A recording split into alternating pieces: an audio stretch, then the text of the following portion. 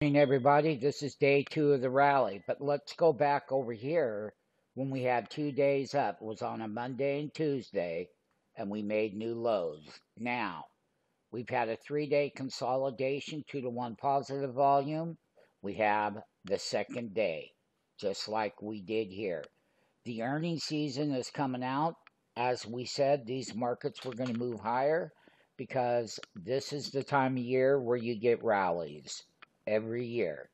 So, with all of the earnings coming on board now, we are rallying ahead of the Netflix report this evening, and we can see that 3811 is going to be that resistance right here. And at that point, it will be a make or break for this move. And I will tell everybody keep tight stop losses. We bought these futures back over here at the lows when we had the big sell off, and then we had the up day, and then we gap up today. That's called the second day confirmation.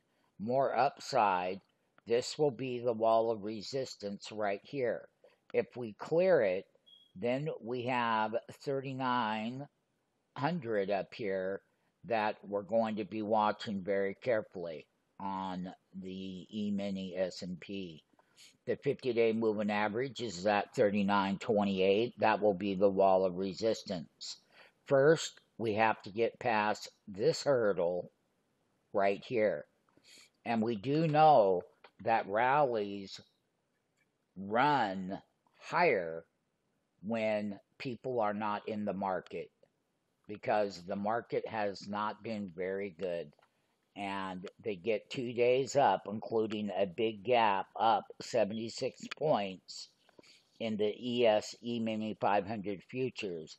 We will monitor that strong wall of resistance at 38.11. And if we get past there, well, then we're looking at 38.90 on the S&P futures. That will be that trend line right up there in the wall of resistance. The volatility will get bigger as we move through the earnings season.